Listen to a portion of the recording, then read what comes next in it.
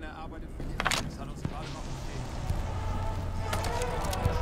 Hier ist die Waffen, was meine arbeitet für die Allianz. Das ist ein Signal an die Resistance!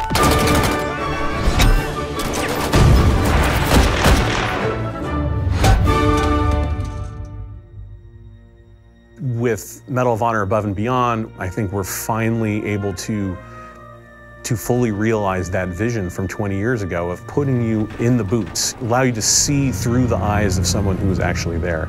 And that's been the most exciting and fulfilling part of, of the project. There's no moment in this game where like you're just relaxed, right? You're in a war zone. You are a member of the OSS, the Office of Strategic Services. That allows us to tell a story where the player gets to go to all these incredible places. VR adds such another level to it just because people want to naturally interact with things how they do in the real world. Whether you're inside a Sherman tank or at an airfield or sneaking into a, Nazi sub base, the level of immersion is unprecedented. Through the power of VR, you're climbing a wall, you're pulling out your gun, you're catching a grenade in midair and throwing it back.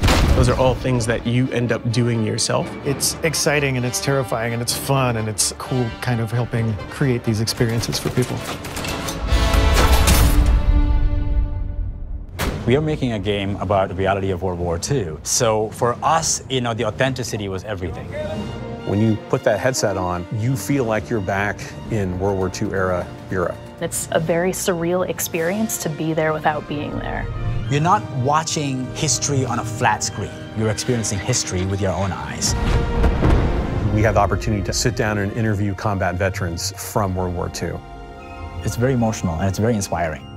And that's what draws us to dive deep for our characters. And putting you as the player on an adventure that spans some of the biggest moments of the war.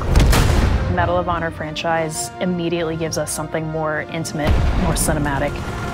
Games are at their best when they're immersive, and we're finding all sorts of little things you can't do in traditional games.